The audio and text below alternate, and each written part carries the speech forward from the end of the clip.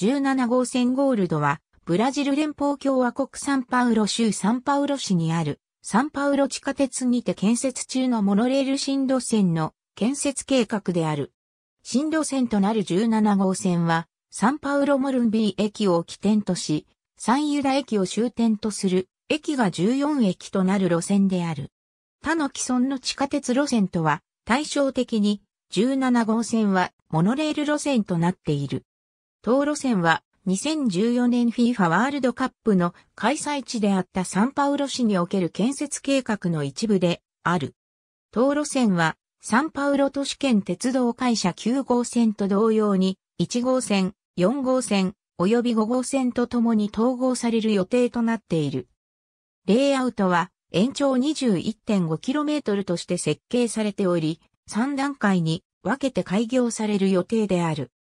初期段階では延長 3.8km、初期需要を1日あたり乗客1万8000人とし、サンユダ駅と今後ニャスサンパウロ空港を結ぶ路線として2011年初頭に開業が予定されている。第2段階では1日あたり乗客10万人の需要を予想しており、2013年に運行を開始する予定である。また、延長 10.8km、モルンビー CPTM 駅とジャバクアラ地下鉄駅を結ぶ路線の予定である。二つの区間は、将来のブルックリン・パウリスタ駅にて、Y 字のような形で接続する予定となっている。当路線は、タリスのセルトリック技術を利用した CBTG により制御され、2014年6から7月に開業する予定である。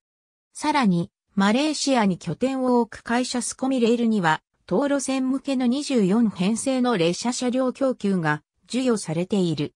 2014年6月9日には、東路線の建設中にコンクリート製支持量が崩壊したため、労働者1名が死亡し、他に2名が負傷する事故が発生している。